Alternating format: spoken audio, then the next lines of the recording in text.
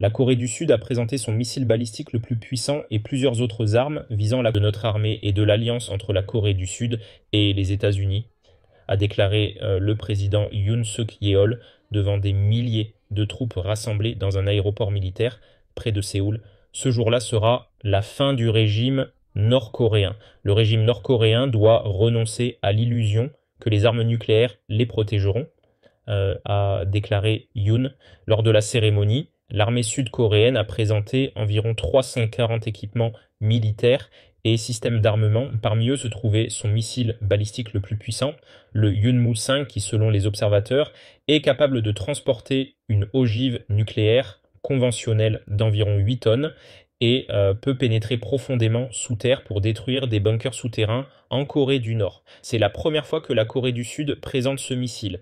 Les États-Unis ont également fait voler des bombardiers B-1B lors de la cérémonie, ce qui a été interprété comme une démonstration de leur engagement en matière de sécurité envers l'allié asiatique.